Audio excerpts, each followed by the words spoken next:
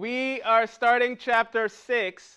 Chapter 6, we're dealing with section 1. 6.1, we're talking about atoms and their interactions. We're going to be talking about the chemistry of life. That's the name of the chapter. Um, but before we can go into like chemical reactions and all that kind of stuff, which we will go into, we're going to talk a little bit about atoms and how they interact. Inside this section, first thing we're going to talk about, we're going to answer the question what is an element? Then we are going to look at what are atoms. And then we're going to talk about the three types of chemical bonds.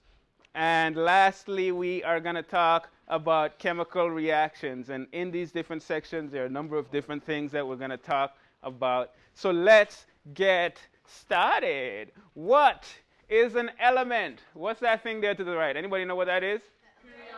Periodic, table, the periodic chart, and it has a bunch of elements listed in that. Yes, you need to know every one of these elements. You need to know the numbers on top of the elements. And you need to know all of the titles to this. No, I'm just joking. You don't. Uh, I'm sorry. I'm sorry. I'm a terrible person. You don't need to know all of those things. I'm to say, we'll save that for when you guys take chemistry. Um, so if you take chemistry, you will go into that. But for now, we're just going to look at a few. But first, what is an element? An element is a substance that cannot be broken down into smaller particles. A substance that cannot be broken down into smaller particles. If I take gold and I break it in two, what do I have? Gold. Are you sure? Yes. Are you 100% sure? Yes. Okay, what about if I break it in four? Silver. It's silver, it's a miracle. All right? No matter how much I break it down, I chop it up, I chop it up, I break it into pieces, I pull it apart, and all that stuff, I still have gold.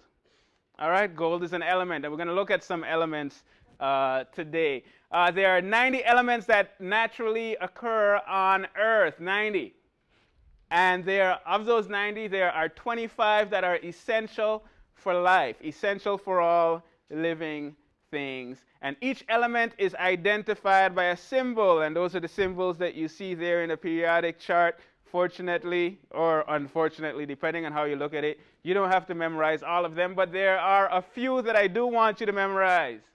Okay, are you guys ready to go through the ones that you got to memorize? Yeah. All right, let's do it. Uh, carbon, C, that's an easy one. Calcium, Ca, that's another easy one. Uh, they're all easy, right? Sodium, Na, you guys look kind of confused, like, what? Why Na for sodium? Why? Because it's in a different language. It's natrium. Um, it's a, in Dutch is natrium, not sodium. In English is sodium. But Na is the symbol for sodium. What? Yes, it's the N is a capital letter and the A um, you write that lowercase. What's the what's the symbol for carbon? What about sodium? ah, oh, come on, guys. Na, all right. What about calcium? Ca. Ca.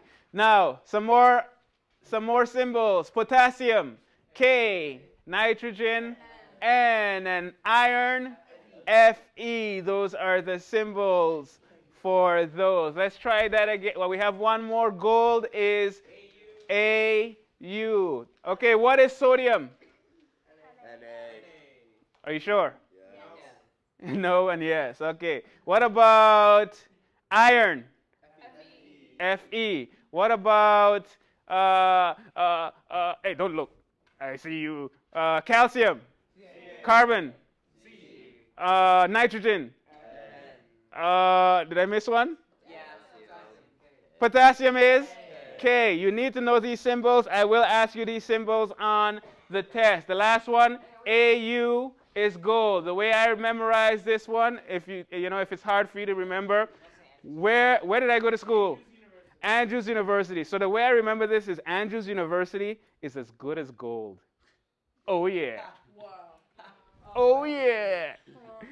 So if you need a way to remember this, Andrews University, good as gold. You guys are laughing now, but you will never forget that again. Mark my words. And if you do, then something's wrong with you. All right. let's continue. So the elements in the human body. What were the what was the question in the beginning in the jump start? The top what? Top four. What are the top four elements in the human body? Okay, I heard carbon dioxide, but it's not carbon dioxide, it is carbon. Remember, when we're talking about elements, it's a substance that cannot be broken down into small particles, smaller particles. Um, carbon dioxide is made up of what? Carbon dioxide is what? Carb, carbon and oxygen. It's two, two atoms of oxygen and one, one of carbon. So if you break that down, you could break carbon dioxide into carbon and oxygen. So that's not an element. Carbon would be the element. And we're going to talk about what those are in a little while. So uh, oxygen, then carbon, and then hydrogen, and then nitrogen. Those are the four elements that you find the most of in the human body. Then we have trace elements. What are trace elements? Trace elements are elements that are present, but it's not a lot of it. Okay, they're present in small amounts in the human body. Some examples N, K, C, A, F, E. Those are a few examples. What is N? N is what? Nitrogen. What is K? Potassium. What is Ca? And Fe? Iron. So those are some trace elements that you find in the human body. Um, and these are important because they help control cell metabolism. We're going to talk a little bit about metabolism in this chapter. Um, plants get their trace elements through their roots. When they take up the water with the nutrients, they get those trace elements that way. We get trace elements through the food that we eat. So we need these for cell metabolism. Um, we get them from the food that we eat. Next thing we're going to talk about is what is an atom? What is an atom? An atom is the smallest part of an element that still maintains all of the characteristics of that element. So we started with a block of gold. We broke it in two, and we have what? No, we have two blocks of gold. We don't just have one block of gold anymore. We break it down, we get four. We break it down, we get more and more and more and more and more until we come to the smallest particle that we can have. That smallest particle that is still gold is one atom of gold. Does that make sense? Yeah. Now, sometimes it's hard to visualize these things because you really can't see it. And yeah, you have these pictures on the screen that show. But have you guys ever seen one of those things here to the right? No, not really, right? That's not what you see. You see gold. Okay? Um, but when you break down, and that's not an atom of gold, that's just to show what an atom is. But when you break down gold to the smallest particle that you can have, you have one atom of gold. Make sense? The smallest particle that's still gold. All right? The, these are the basic building blocks of all matter. What is matter? Anything that has mass, right? It takes up space. Okay? You are matter, and you matter. that was such a corny joke. wow. it was not. A, it was actually a little better than my joke. Um, hey, don't be hating on the fungi joke. That's the classic joke. Anyhow, let's continue. All right, so anything that you look at, anything that you see, you look at this table, you look at me, you look at the clothes that I'm wearing, the clothes that you guys are wearing, your hair. That is matter. And if because it's matter, if I take it and I break it down, let me break it down this is for demonstration purposes. I need to break it. Where's the scissors? Tell her what she gets for skipping. Scissors. Oh, I have a scissor right here. Okay. Where are you running? Go- Why are you running away? Don't touch my hair. Okay, I won't use that as a demonstration. But if I take your hair and I break it down to little pieces of hair and I continue breaking it down until these really small particles that you can't even see, you will ultimately end up with little atoms. Are they big or small? small, right? All right. Um, let's continue talking. What is in an atom? What are the parts in an atom? We're going to talk about those. We have the nucleus. The nucleus would be the center of the atom, and that would be this part here. The nucleus, that is the center of the atom. Then we have electrons. Where are the electrons? Those are the outside, right? Anybody know what kind of charge they have? Negative. You guys are on point. Why am I even teaching this class? You guys should just know it and leave, right? You agree? Okay, goodbye. Why are you guys getting up? No, but that was a rhetorical statement. Is there such a thing as a rhetorical statement? This is why I don't teach English. I stick with biology. Anyhow, electrons. Those are the outer particles. And what you need to know about electrons, they have a negative charge. What are the ones with a positive charge? What? Positive charge would be protons. We're going to get there. All right? Uh, protons are those are particles found in the nucleus. You can see them here. They're yellow in this picture, and they have a positive charge. And then we have the neutrons. Those are also not Jimmy Neutron. The- no, that's I, I- oh, it was just as funny back then. It was. I guarantee. Neutrons, they are found in the nucleus, and these are the orange ones that you see here. And neutrons have no charge. Now, these are pretty easy to remember. For me, uh, protons have a positive. P, protons, P, positive. Neutrons have no charge. Or neutral. They're neutral, they have no charge. You have N in neutrons, N for neutral, or N for no charge. And then you have electrons, and they have a negative charge. The E for negative charge. All right, so that's how I remember them. Um, I guarantee you won't forget that. All right, so protons have what charge? Positive. Neutrons have no charge or neutrals, uh, neutral, and electrons have an negative charge. Just don't tell your parents that that's what I'm teaching you. They're positive and negative charges. They'll, they'll think that I'm crazy. All right, uh, so here we have electrons, negative charge, protons, positive charge, neutrons, no charge. Very important to remember. Uh, the electron and proton numbers are always going to be the same. So if you have 10 protons, how many electrons do you have? You guys are geniuses. If you have 20 protons, how many electrons do you have? 20. Yeah. You don't look as excited as I am. If you have 50, you don't get it? If you have 15 protons, how many electrons do you have? 15. If you have 6 protons, how many electrons do you have? 6. Don't let me trick you in any question. If you have 16, you have good job. You rock. Now we're going to talk about energy levels. Um, what is an element? Something that can't be broken down into into smaller particles. What, i- what is an element? Okay, something that cannot be broken down into smaller particles. If you break an element, if you take something and you break it down to its smallest particle, what do you have? An atom. One atom. What are the parts of an atom? Protons, neutrons, electrons, and the nucleus. What is in the nucleus? Protons and the neutrons. Protons have what kind of a charge? Positive charge. Neutron, neutrons. What are neutrons? Neutrons have what kind of a charge? No charge. Electrons have negative charge. Come on, get it right. No, I'm just joking. You're right.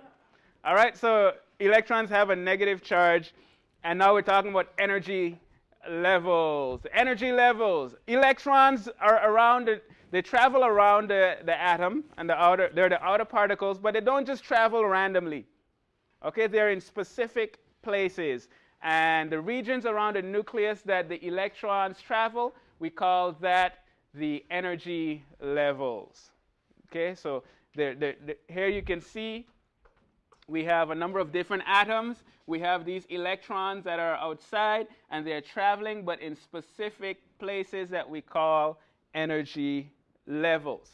Okay? And the key thing about these energy levels is that atoms like to have the outermost energy level full. The outermost energy level full. Okay, and we're going to talk about how many electrons we can have in these different levels. Um, in the first energy level, we can have two electrons. And you can see here, hydrogen only has one electron.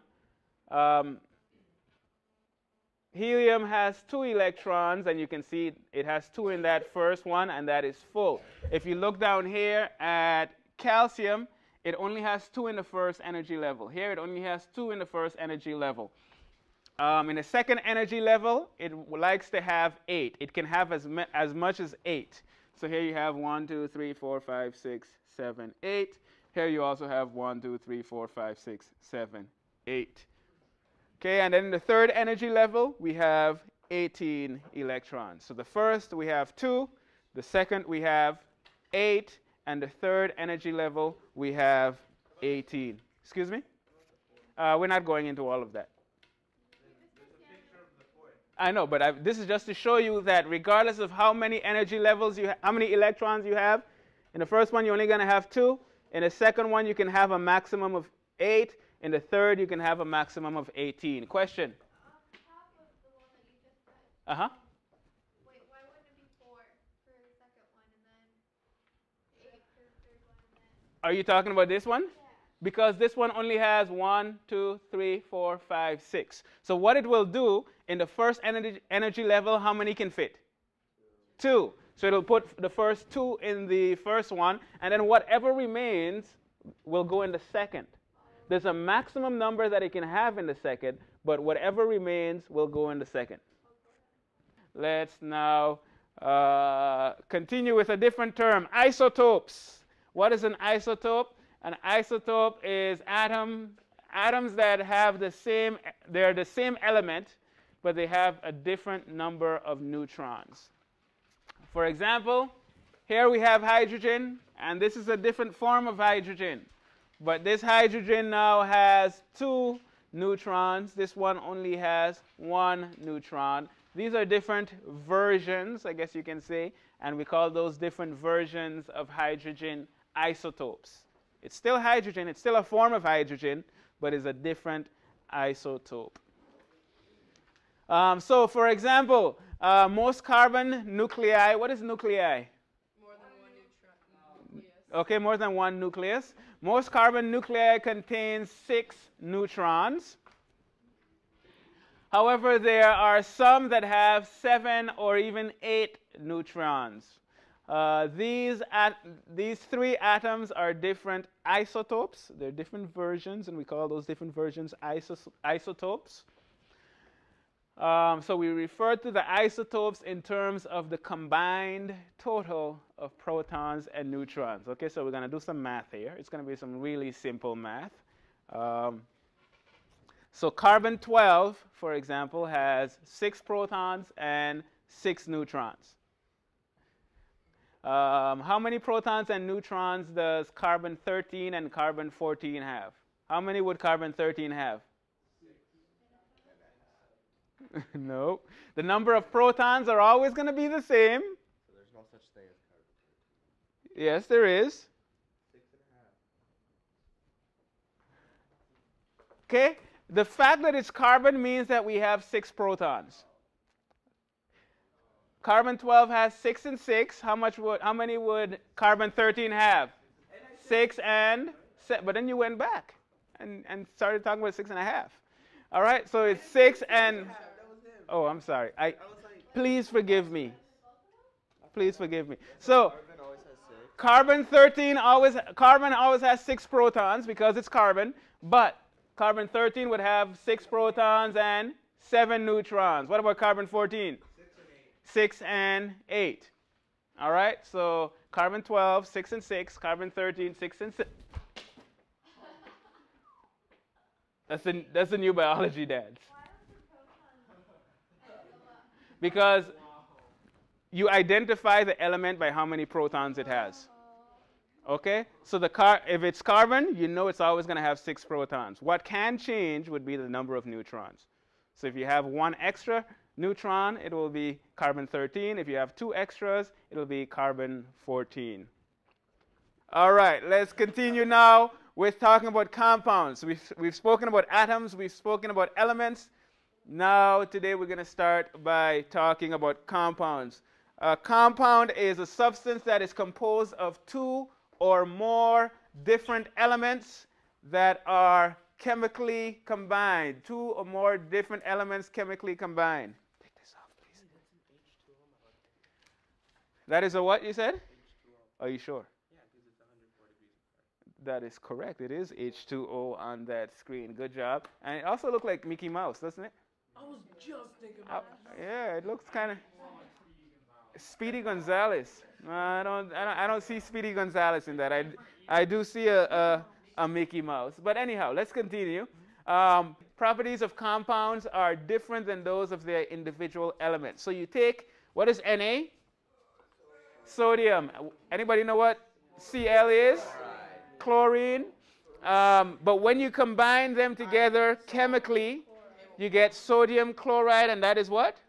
Table salt. Now, do you know anything about sodium and, and chloride?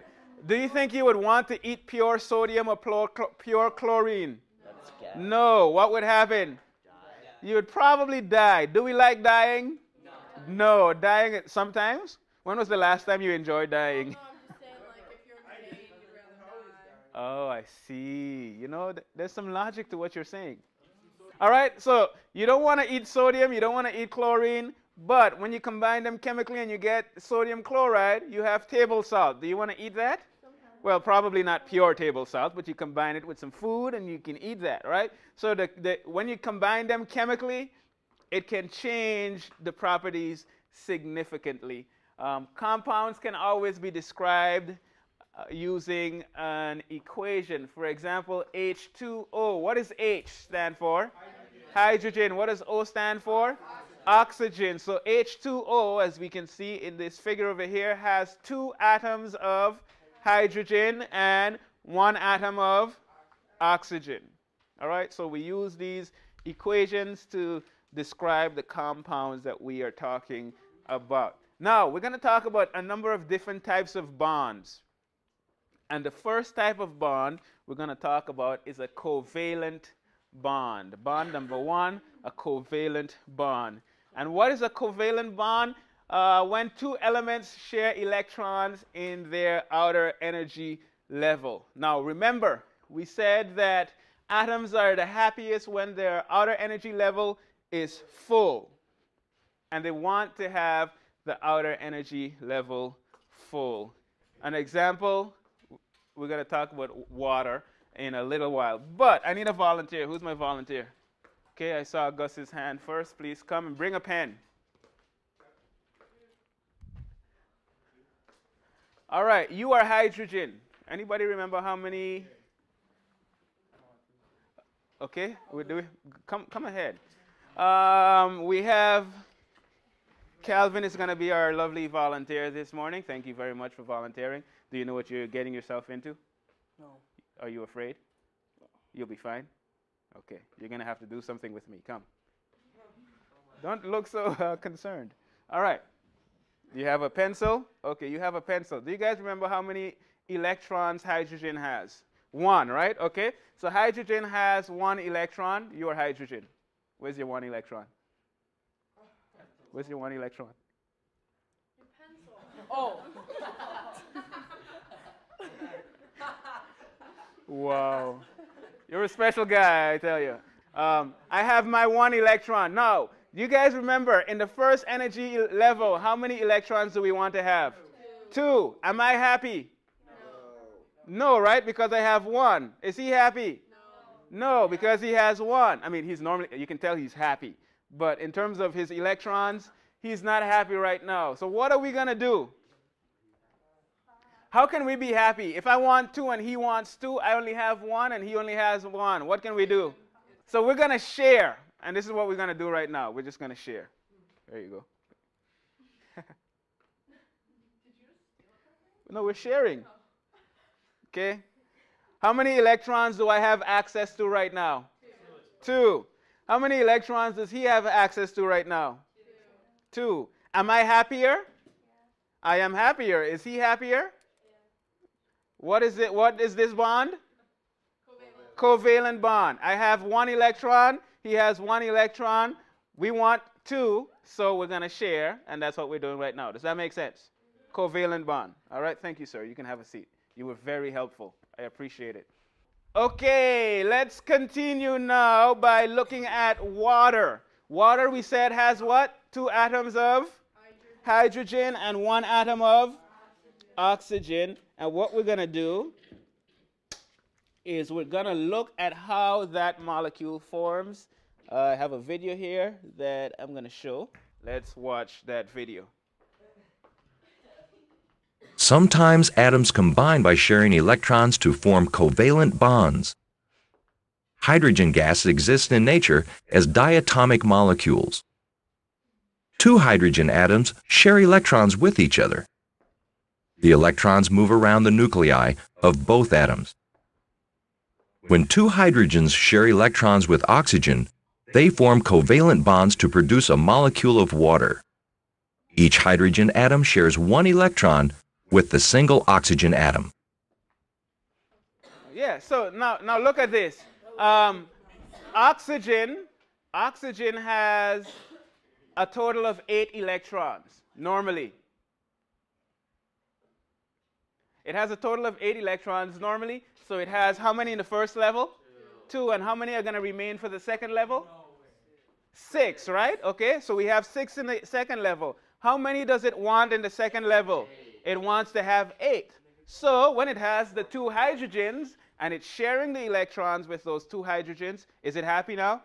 It is happy because now it has eight electrons um, and that makes it much happier. All right, let's continue.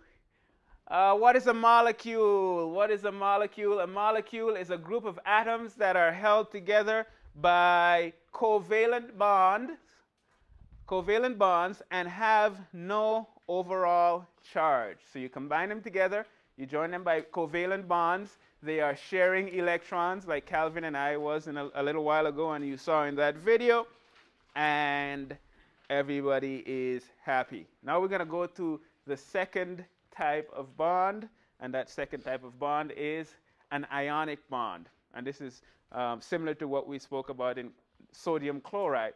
Um, that is a bond between atoms that is formed by losing and gaining electrons. I need a volunteer.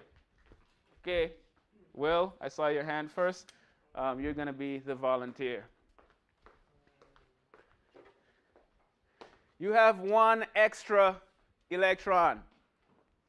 Okay, Will has one extra electron, and I have, I'm short one electron. He has one more than he needs. I am missing one. One. Okay, so I have one less than I want.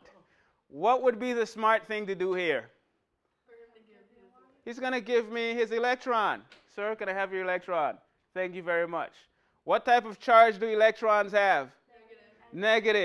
Negative. Right?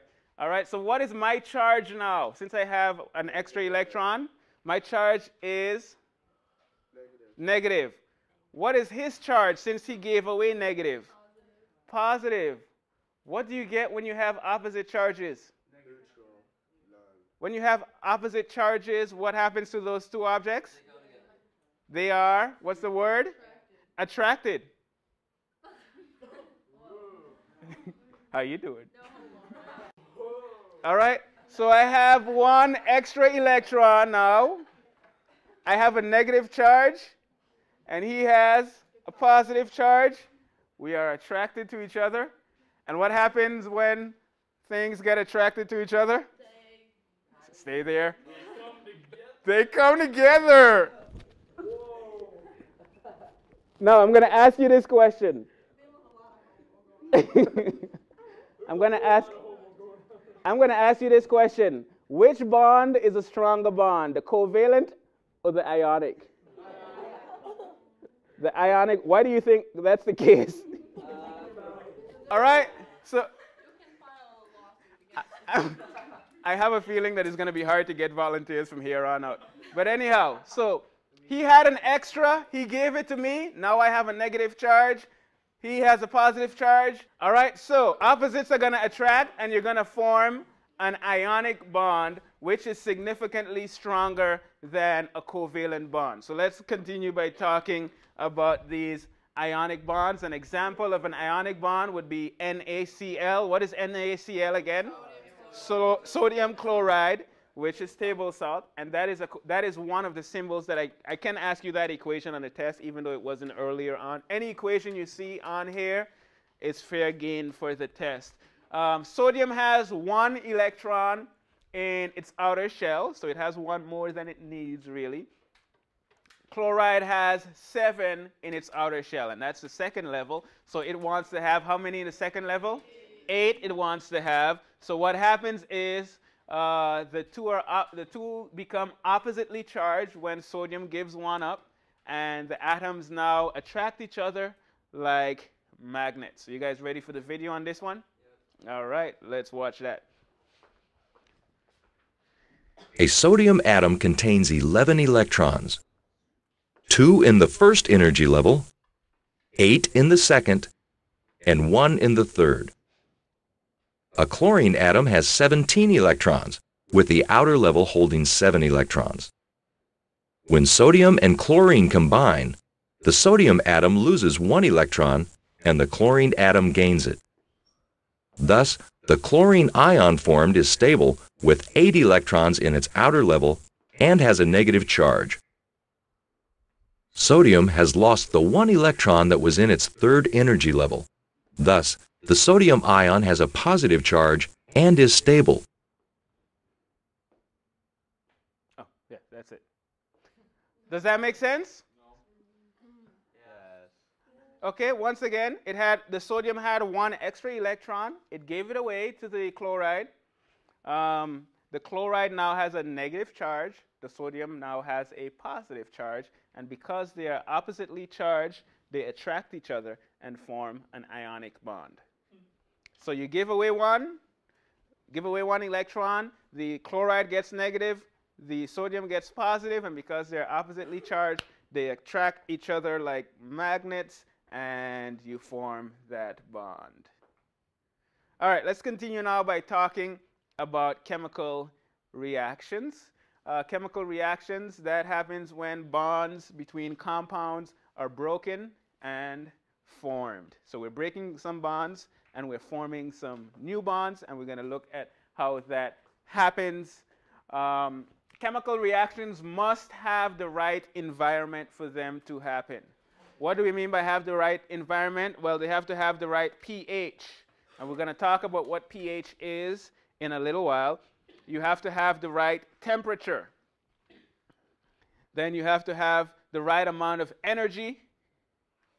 And you also have to have the right concentration. So you want to have the right pH, temperature, energy, and concentration. If I tell you what are the factors that are um, going to contribute to chemical reactions happening. Um, these are the factors that I want you to tell me. Um, now, let's talk about the chemical equations that we get. Chemical equations, how do we set up chemical equations? You had to do this in your homework assignment, or you had to balance the chemical equation in your homework assignment. We're going to talk about that today. Um, you have a reactant that you combine with another reactant, and you form a product. All right, uh, reactants are the ones that undergo the chemical reactions. Uh, the products are formed in the chemical reactions. So the reactants go through the chemical reactions, and the products are formed in the chemical reactions. For example, we take hydrogen, and hydrogen is normally in the form of H2, two atoms of hydrogen, um, plus oxygen, which is O2, and we get water. Now, these different numbers, the first number here, the bigger number, that's talking about the number of molecules. The smaller number is talking about the number of atoms. So this is two atoms of hydrogen in this one molecule. But it's saying that we have two of those molecules that is going to combine with one molecule of oxygen to form how many molecules of water? Two.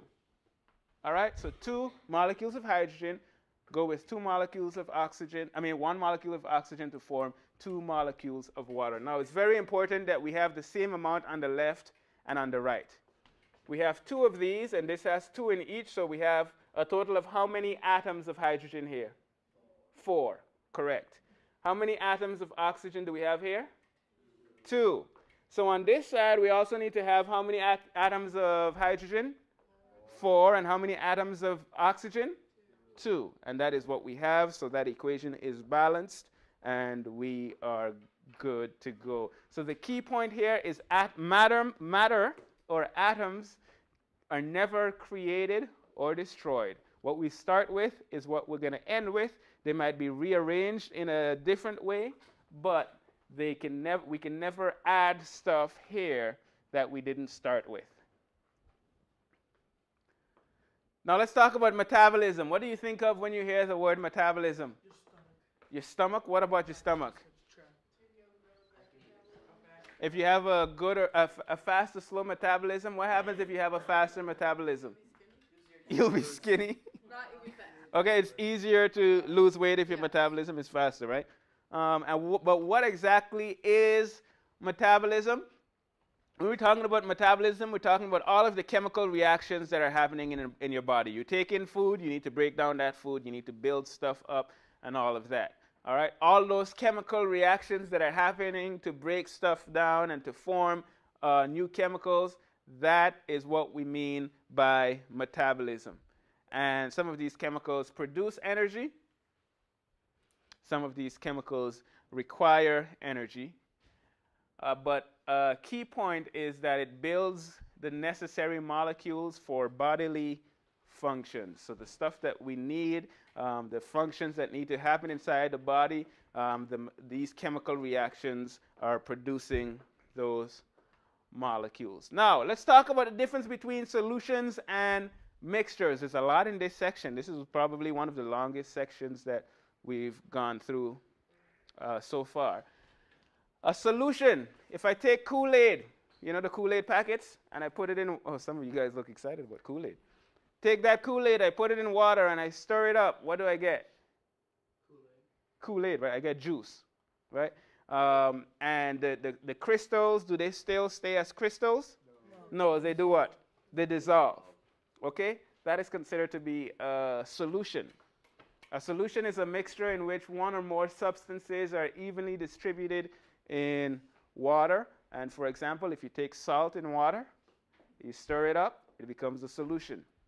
If you add Kool Aid to water, you stir it up, you have juice.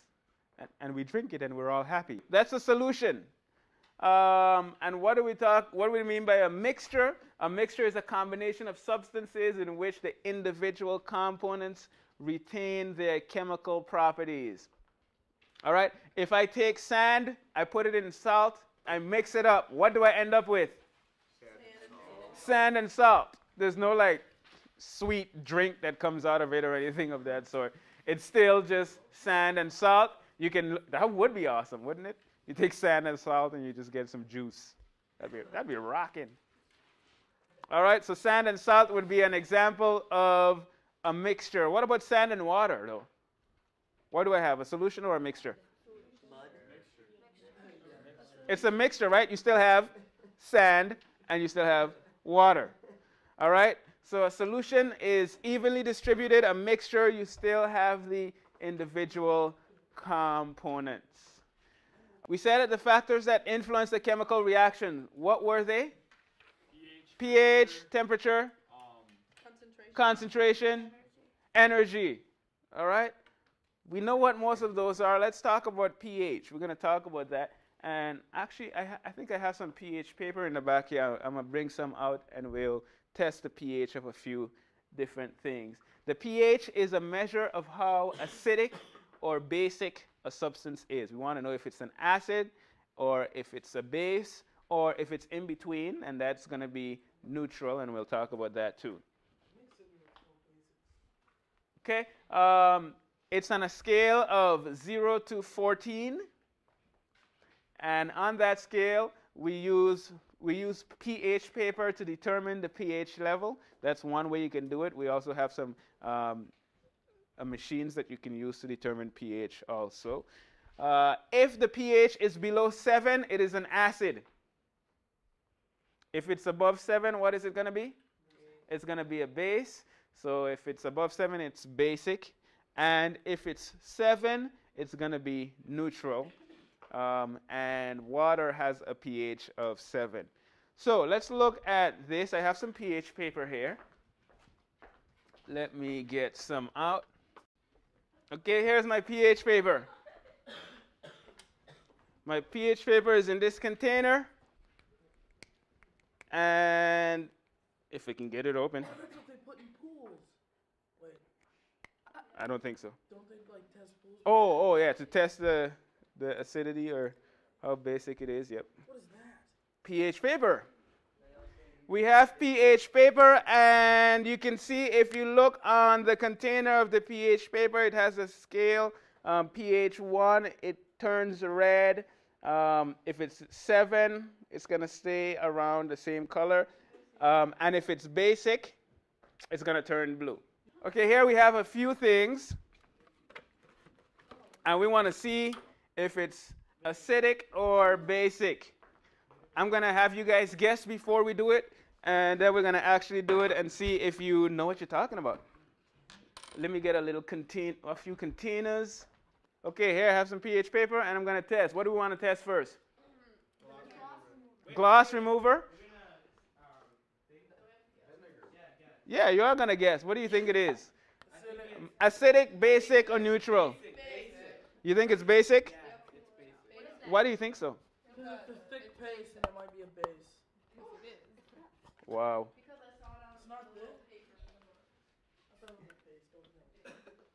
Okay, let's. If I can open it, there we go. supposed to remove oil. This is to remove um, the gloss off the paint, so when so you don't have to use sandpaper. Okay, so I'm gonna take a little bit of gloss remover here. And you guys said basic, right? Yep. Let's see if you know what you're talking about. Oh, you guys look so intense. Like, what is it gonna be? Okay, let's see here. Let's See what? What color is it? You tell me. We're gonna take it and we're gonna compare it. Might as well be water. What do you think? What do you think?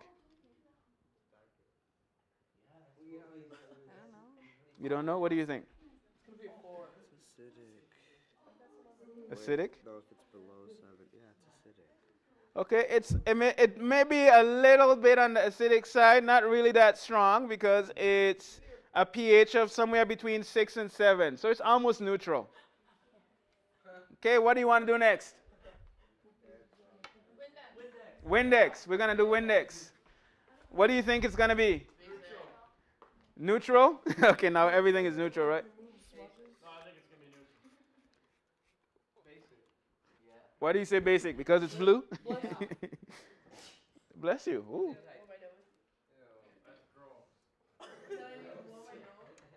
Okay, so we're gonna test the Windex now and see what we get.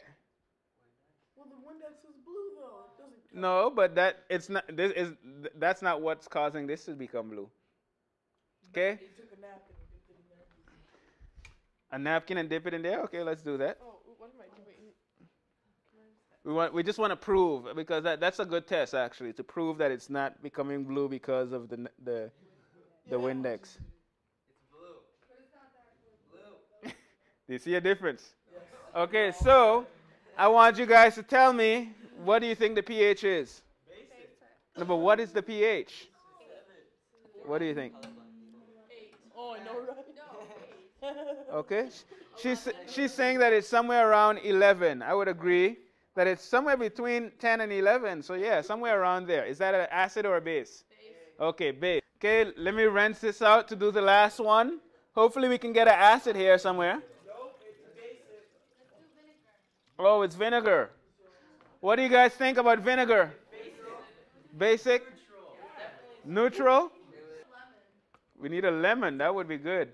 I thought I had some lemon here, lemon juice. Let's see what this vinegar guy is going to do for us. How many people think it's going to be acidic? How, you guys just want it to be acidic, huh? How many people think it's going to be basic? I think it's basic, man. Neutral? How many people don't think? Oh, this is definitely. Well, let's let's check our scale. What number would you give that? I can't believe I'm agreeing to your positive. Three? Okay. A pH of three. What is that? Ouch. It's ouch. wow, that's pretty ouch. That's like the new type of acid. Ouch. Okay, let's get a, get rid of all this stuff now and get back to the lesson. So we know pH in terms of how to determine whether it's an acid or a base. But what's an acid and what's a base? One is acidic, so what does that mean? It. It burns. Actually, um, depending on the strength of the acid, it could seriously burn. At home, our yard, our yard has white tiles instead of dirt. Don't ask me why, but we have white tiles all around, and every once in a while it gets really dirty because it's white, white tiles and it's outside. So when when it gets really dirty, what we do is we take some acid and we pour it on the ground, and you have to cover your nose so that you're not inhaling the fumes, and it just it really just it almost seems as if it's burning the ground, burning the dirt off the ground. It has the chemical reactions, and then you just pour some water, and it's white again, white as snow. So it really makes a big difference. What if you walk movie where this guy dipped his paintbrush in some kind of acid Uh huh. And what happened to the paintbrush? and he wiped it on this girl's arm because she was like being tortured. Uh-huh. He like wiped her across her face and Uh-huh. her face like melted away. Yep. It crazy. Acid. If you have a really, if you have a really strong acid, that can really do some serious damage. But let's talk about, um, and there's stuff like sulfuric acid and hydrochloric acid. But let's talk about what an acid is. An acid um, is any substance that when you put it in water, it forms hydrogen ions. Okay, and what are what's the symbol for hydrogen ion? Um, H plus. What type of charge do you think that has? Positive charge, right? H plus. You put it in water and you form hydrogen ions. It's an acid. Um, for example, uh, and this is a this is another equation that you need to know, and you want to write this in HCl. That is hydrochloric acid. HYDRO CHL acid. HCl is hydrochloric acid. So that is what an acid is. You put it in water and you form hydrogen ions, and the hydrogen ions are, are what makes that pH paper turn what color? Color red. All right. It it, be, it gets less yellow and more red. Um, let's talk about what a base is. A base is any substance that when you put it in water, it forms not hydrogen ions, but hydroxide ions. And the symbol for hydroxide is OH minus. OH negative. Correct. Hydroxide. Hydroxide ion. It's a, it's a particular ion in water, and that ion is responsible, in this case, for turning this what color? Blue. Blue. What is that white stuff on that platter? That is, uh, that is, like I think that's sodium hydroxide. Okay, uh, when NaOH, what's Na again? Sodium, and what's OH? Neg- OH negative is what? Hydroxide. So when you put them together, you have sodium hydroxide. That's another um, equation that you need to know, and it can potentially come up on the test. Hint, hint, hint. Sodium hydroxide, NaOH. When you put that in water, you get sodium ions and hydroxide ions. Sodium ions and hydroxide ions. All right, let's talk about some common acids and bases. First, we're going to talk about acids. Um, some of the common ones that you'd probably know orange juice. Orange juice, that is what kind of acid? Citric acid it has in it, so that's going to be acidic. And then, of course, in your stomach, you have some stomach acids. Um, and what do the what do the stomach acids help do? digest your food. We're going to talk about that when we talk about the digestive system. And then you have tomato juice that is also acidic. And then we have some common bases. Um, an example would be toothpaste, that's a base. Um, baking powder, that's basic. And chlorine bleach that you use when you're um, washing your clothes or cleaning your house. Um, that is also a common base. So, in review, we are to the end of this section. In review, uh, we've, we've answered the question what is an element? What is it? Something that cannot break down. Broken down into Small small, smaller particles. We spoke about an atom. What is an atom? Any the, the, the smallest particle of any broken down element. The smallest, par- smallest particle of any broken down element that still is that element. Okay, and then we spoke about the th- we spoke about wait, did we speak about three types of chemical bonds? No, we spoke about two so far. We're gonna speak about one more next time. What were the two that we spoke about today? Covalent bond and ionic bonds. Which one is sharing electrons? Covalent, that was us, right? We were sharing the electron, and then the ionic bond is giving an electron up. One becomes negative, the other one becomes positive, and they attract each other. And then we spoke about chemical reactions. That is the end of section 6.1.